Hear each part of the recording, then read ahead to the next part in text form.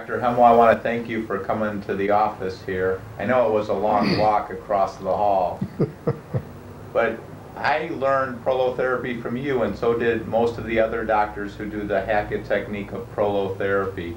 Can you just explain a little bit of how you got interested in prolotherapy? Well, way back in 1955, when the AMA used to have its big meetings where 30, 35,000 people came to the meetings, they would have, along with the meeting, what they called the scientific exhibits. And they would have uh, literally hundreds of exhibits of the doctors who wanted to present work that they had been doing. So I was roaming through these exhibits, uh, and uh, there'd be a couple of doctors here and a couple of doctors there looking at exhibits. I came down the hall, and here's an exhibit where there were 10, 12 doctors all crowded around listening to this gentleman talk. And uh, it turned out to be Dr. Hackett. And Dr. Hackett was talking about a treatment for chronic low back pain. Well, nobody uh, knew what to do for chronic low back pain anyway. And so I thought, well, uh, I've had my troubles with listening to patients complain about low back pain. So I thought, well, I'll hear what this fellow had to say. Well, he had just published a book, and he was talking about uh, a method of treating low back pain that had some very definitive uh, results and some very permanent results, which was different than most anybody else had been making claims to. So I listened to him for 15, 20 minutes or so, and I bought his book and went back and listened to him a few more times, and I thought, this is the first time that I've ever heard anybody talk anything uh, that made sense in the treatment of low back pain. So I got all the information I could and I went home and uh, came down the hall of West Suburban Hospital and the chief technician of the hospital in the laboratory stopped me in the hall and said, Doctor, she says, my sister has a very severe chronic low back pain. She's had it for 11 years. She hasn't been able to go to a grocery store. She hasn't been able to uh, get on the bus because she can't lift her leg. And she says, I've had it everybody on the staff here that was supposed to know anything about back pain, and nobody can help her. Do you have any suggestions? Well, I said, I've just come back from Atlantic City, and I've just heard about a new treatment that I've never used. I read about it, I've got a book, but I said, it sounds to me like a good treatment. She says, well, she says, if you're willing to try it on my sister, my sister will come. I said, okay, that's fine. I would be glad to do that. so she brought her sister in. Uh, I had my office here in the west side. The sister lived way up in the north side, up by Loyola University. And, uh, but she came in and I very gingerly started to treat her. And uh, not knowing exactly what to do, I had her gave her a few shots and I had her come back in a week and gave her a few more. And uh, after a couple of weeks, she said, you know, she says, I'm starting to feel better. Well, that encouraged her and it encouraged me. So we kept on working away at it and doing the best we could. And I'd look at the book and I'd read the things. And then uh, one day she came in and she was all smiles. And she said, you know, I came down here all the way from the north side, all by myself on the bus. She's the first time I've been on a bus in 11 years. Well, that was my first case, and of course that encouraged me tremendously. And where I used to try to hide from back pain patients, I now began to look for them. And from that point on, I have had excellent results in the care of chronic low back pain.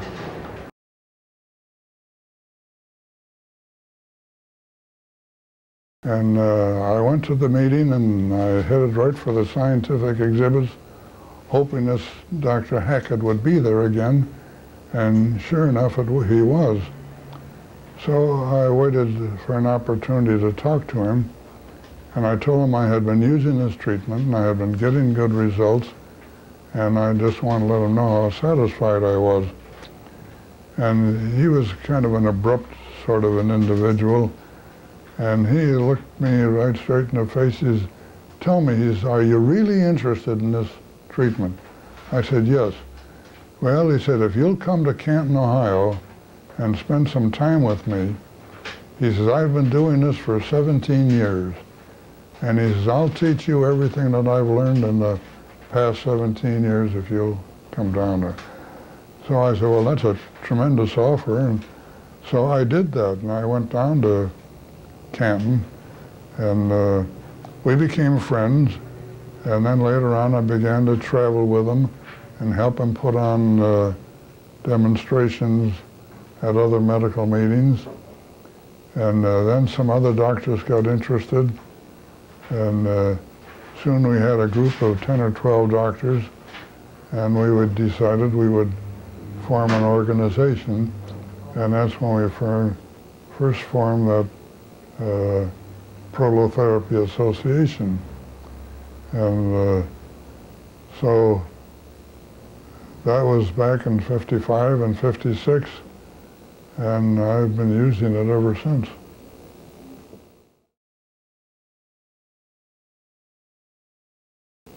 How did you come up with the dextrose lidocaine solution?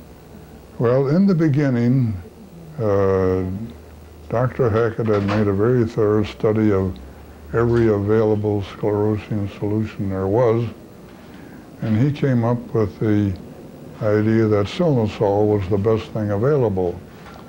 So we were all using Sylnasol until Searle and Company, for reasons of their own, very suddenly and abruptly took it off the market. Well, in the meantime, uh, there had been some other work done, and we started to use a solution of zinc sulfate, which was all right, but it was very painful.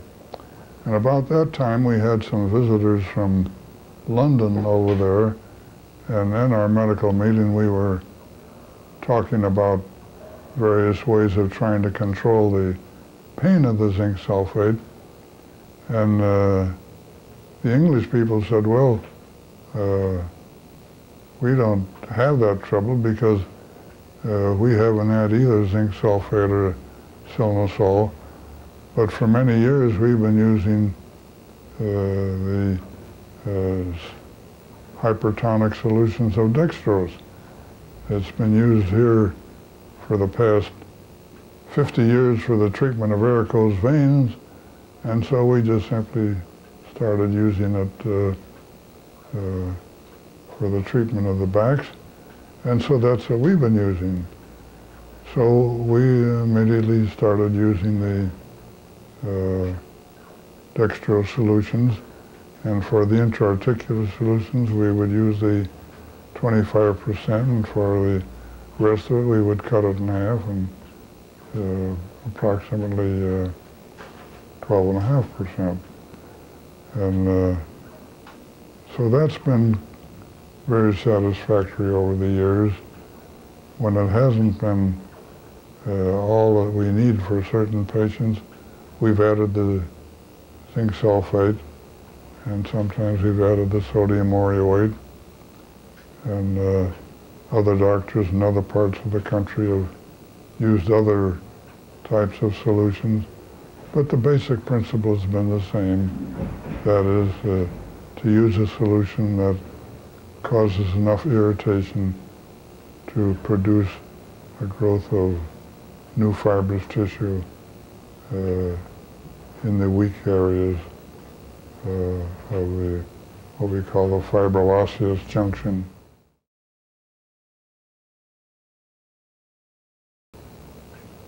Is this new tissue that grows, is this permanent or is, is prolotherapy just kind of a temporary help? No, it's permanent.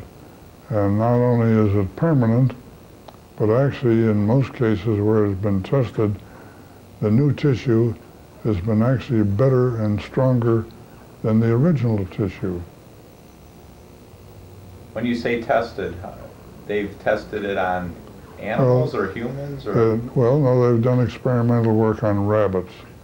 They would uh, take a rabbit tendon and inject it, and uh, well, they, they tested uh, to see how much strength it had, and then they would uh, uh, inject it and test it again, and the injected lig- ligaments that they produced were always stronger than the than the original ones.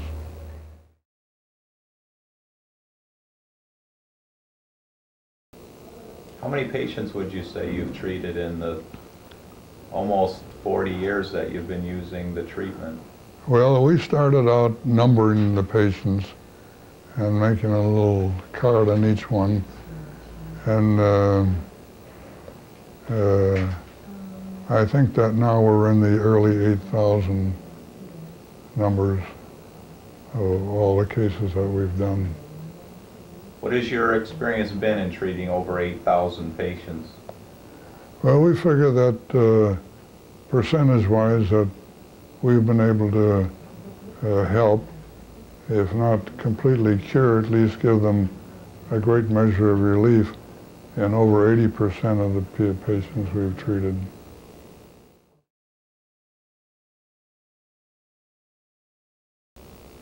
You've treated over 8,000 patients. Is prolotherapy a safe procedure or is it, is there some risk to it?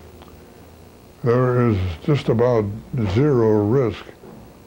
In the very, very early days when Sylnasol was being used, uh, some people had uh, unfortunately gotten some of the Sylnasol into the uh, subarachnoid space, and there were two or three cases that were reported in the literature. And of course, because there were two or three cases reported, uh, that gave it a black eye. And even though uh, there has never been a case reported except with the Sylnasol. So, When you say a case report, you mean somebody actually uh, died? yeah, uh, well, not died or had any bad results. The bad results were always with the Sylnasol. And with the onset of the use of uh, substances such as dextrose, there's never been any, any problem. So I'd say it's a very, very safe procedure. So, in your experience using the hypertonic dextrose solution,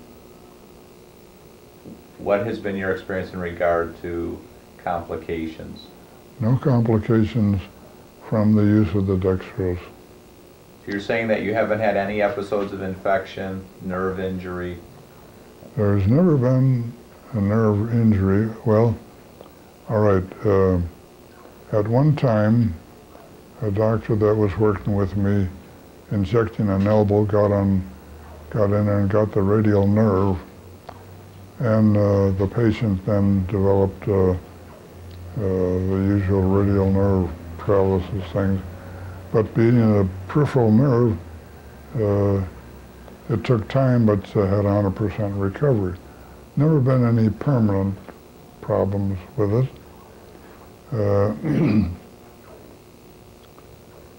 uh, in all the cases I've done, I never so much as I've ever seen a pimple develop. Uh, there's been no uh, no in, infections, and I don't know of anybody who's reported infection, and I have never had any. There are people that say, take an aspirin a day or they take Motrin for their pain, would you say prolotherapy treatment is on the order of safety of those things or is actually even safer than taking those medicines? Well, if you talk about people taking aspirin in uh, doses of 12, 15, 18 tablets a day, and if you talk about any of the NSAIDs, uh, yes, the prolotherapy is far safer than either of those methods. All of the other ones ending up with gastrointestinal bleeding and many complications that you never see with prolotherapy.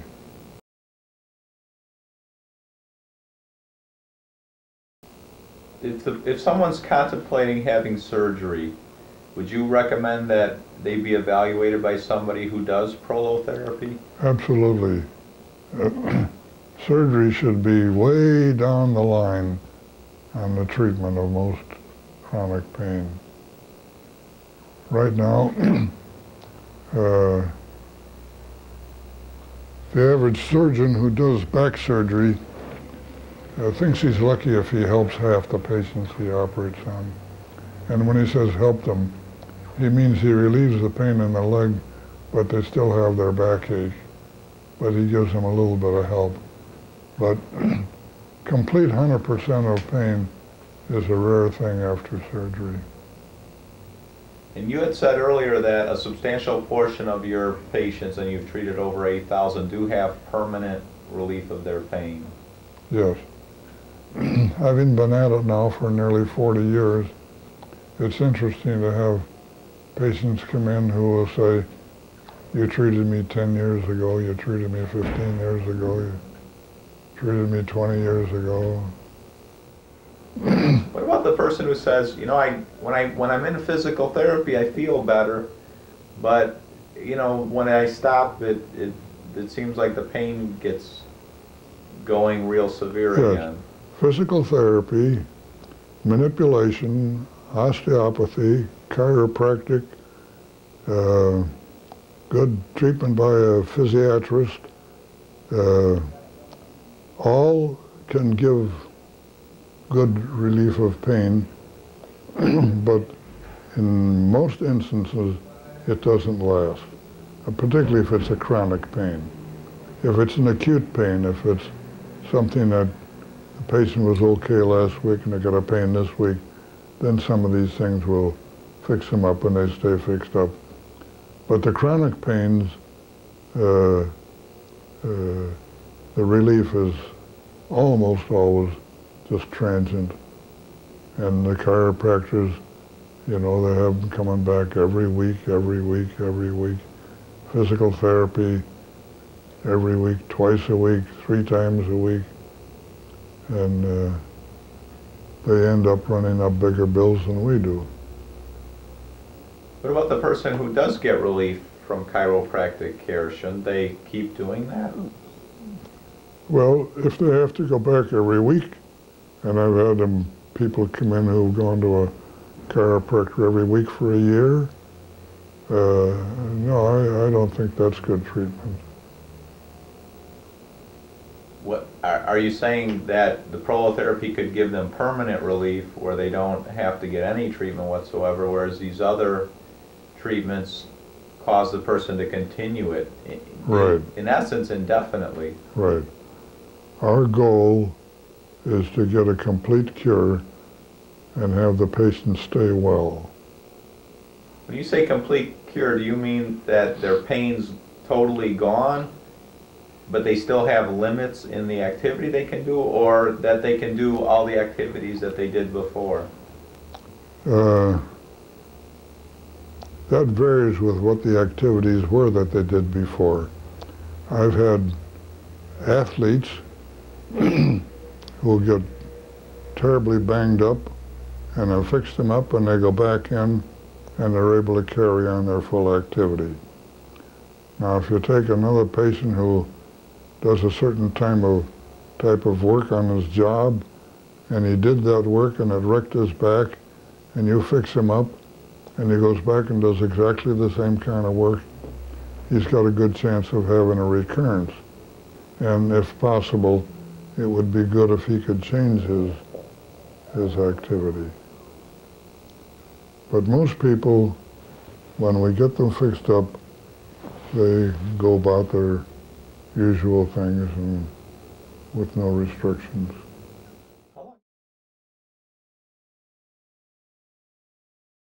And have you given any thoughts about your medical practice, which is next door here, what you would like to see in the future? Yeah, I'd like to see another five years anyway. you know, I'm getting kind of old. Well, how old are you now? I'm 85 now. So, And uh, you're still in active practice. yes. That's fantastic. So, how much longer I keep going, I don't know. I enjoy what I'm doing. I feel like I'm helping people. I feel like I'm helping other doctors. And uh, as long as I feel like I'm doing some good, I'm going to try to keep going.